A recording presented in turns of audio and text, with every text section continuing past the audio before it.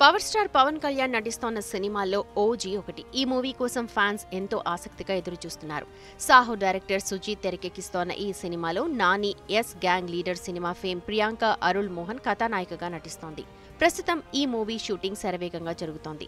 Full length action ఎంటర్టైనర్గా రాబోతున్న ఈ సినిమాను ముంబై నేపథ్యంతో సాగే గ్యాంగ్స్టర్ స్టోరీతో రూపొందిస్తున్నారు. ఇప్పటికే ఈ సినిమా గురించి వరుస అప్డేట్స్ ఇస్తూ అభిమానులను ఖుషీ చేస్తున్నారు మేకర్స్. ఈ క్రమంలో ఈ మూవీలో విలన్గా యాక్ట్ చేస్తోన్న అన్న బాలీవుడ్ యాక్టర్ ఇమ్రాన్ ఓ క్రేజీ అప్డేట్ ఇచ్చారు.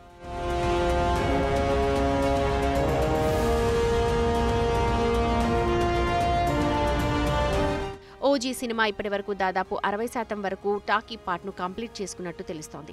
ఇందులో విలన్ పాత్రలో Bollywood star hero Imran Hashmi నటిస్తున్నారు.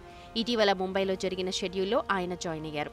పవన్ ఇమ్రాన్ మధ్య వచ్చే సన్నివేశాలు ఎంతో హైలైట్గా ఉంటాయని ముందు నుంచి వినిపిస్తోన్న టాక్. దీంతో ఈ సినిమా చూసేందుకు వెయ్యి కళ్ళతో ఎదురు చూస్తున్నారు ఫ్యాన్స్.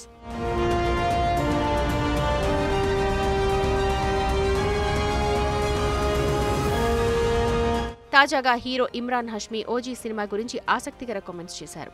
ఇటీవల ఓ ఇంటర్వ్యూలో పాల్గొన్న ఇమ్రాన్ ఓజీ సినిమా చాలా ఇంట్రెస్టింగ్గా ఉంటుందని సినిమా కూల్గా సాగుతుందని అన్నారు. ప్రస్తుతం ఇమ్రాన్ చేసిన కామెంట్స్ నెట్టింట వైరల్ అవుతున్నాయి. అందరినీ విపరీతంగా ఆకట్టుకుంటున్నాయి.